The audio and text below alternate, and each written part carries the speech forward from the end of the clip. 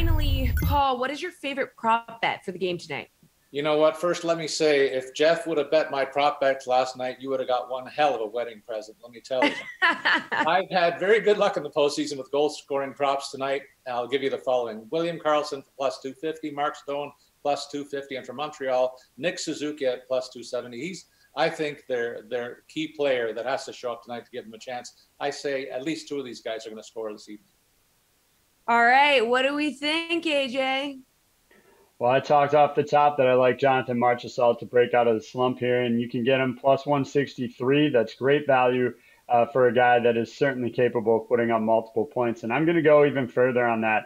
I won't go quite into the plus two goals. That's a little bit too much risk for me, but I'll do two or more points here at plus 375 for Marchessault. I think he's the, the play on, on their side.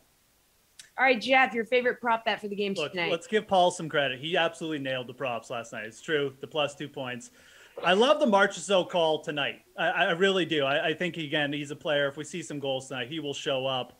I'm going to go to the other side and take bigger odds. I think Brendan Gallagher on the shots on goal prop. If you take over 2.5 again, you know, he's averaging about three shots on goal over his last seven games. He's playing a ton, and he's just a, a player who's, you know, he's going to show up for Montreal in a do or die game. I like him to score a goal as well, though. You can get him at huge odds. This guy's gone seven games without a goal. Again, about 21 shots over that period. Like, it's going to fall for him eventually. Plus 325 to score a goal. If we like more goals here, you know, I think this is a night where you can actually do that and, and target the Montreal Canadiens bigger odds. So Gallagher plus 325.